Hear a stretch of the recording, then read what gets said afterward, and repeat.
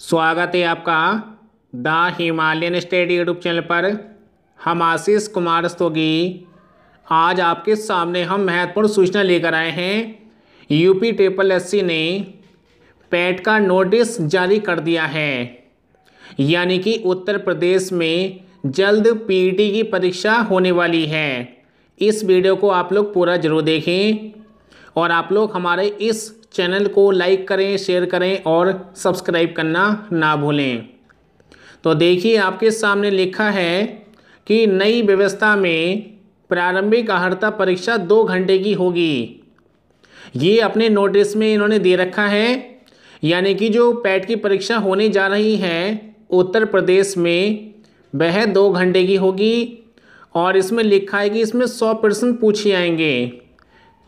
और इसमें लिखा है कि गलत जवाब देने पर नेगेटिव मार्किंग भी की जाएगी। और इसमें नेगेटिव मार्किंग का प्रावधान एक बटा चार है।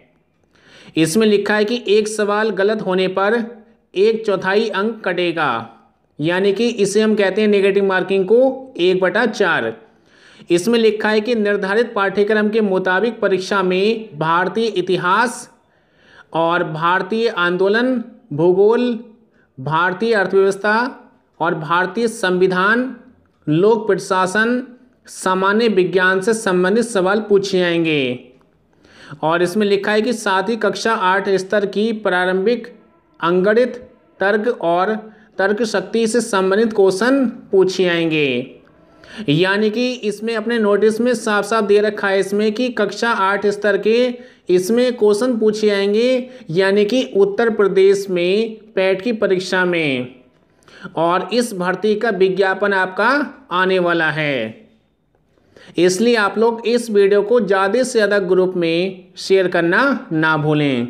तो इसके बाद हम देखते हैं आगे इसमें। देखिए इसमें लिखा है कि और इसमें पूछा जाएगा सामान्य हिंदी। और इसके बाद लिखा है कि सामयिकी इसका मतलब होता है कि करंट अफेयर्स राष्ट्रीय अंतर्राष्ट्रीय महत्व के इसमें क्वेश्चन पूछे जाएँगे करंट अफेयर्स में। और इसमें लिखा है कि सामान्य जागरूकता और गद्य विश्लेषण एवं विवेचन और ग्राफ का विवेचन एवं विश्लेषण संबंधी सवाल पूछे आएँगे इसमें एक महत्वपूर्ण चीज़ ये लिखी है इसमें कि इसमें छः सवाल दस दस अंक होंगे और शेष प्रश्न पाँच पाँच अंक के होंगे। ये पॉइंट अभी क्लियर नहीं हो पाया है। अभी जैसे ही क्लियर हो जाएगा, आपको हम बता देंगे ये चीज़, क्योंकि नोटिस में अभी क्लियर नहीं करा गया है। यानी कि इसमें लिखा है ना कि इसमें छः छः जो आपके क्वेश्चन पूछेंगे दस दस अंक के होंगे, और शेष पाँच पाँच अंक के होंगे। और इसमें लिखा है कि आयोग शासन से मंजूरी मिलने के बाद पाठ्यक्रम को ऑनलाइन करेगा। जिससे समूह गा की भर्ती में शामिल होने वाले अभ्यर्थियों को इसकी जानकारी मिल सके और प्रारंभिक अहर्ता परीक्षा परिणाम परसेंटाइल के आधार पर किया जाएगा। यानी कि प्रारंभिक अहर्ता परीक्षा परिणाम जो है परसेंटाइल के आधार पर किया जाएगा इसमें। ये अपने नोटिस में जारी कर रखा है। यूपी ट्रिपल एससी ने ये नोटिस जारी किया है। इसमें सब चीज़ें लिखी हैं आपकी। और इस परीक्षा में सौ परसेंट पूछे आएँगे और इसमें जो है एक बटा चार नेगेटिव मार्किंग का प्रावधान किया गया है। इसमें ये क्लियर आपका हम कर देंगे आगे कि छः सवाल जो हैं दस दस अंक किस प्रकार हैं ये? क्योंकि ये बात इसमें नोटिस में साफ़ साफ़ नहीं कही गई है। तो ये वीडियो आपको कैसी लगी आप लोग हमें कमेंट बॉक्स में ज़रूर बताएँ। और आप लोग हमारे इस चैनल को लाइक करें, शेयर करें और सब्सक्राइब करना ना भूलें।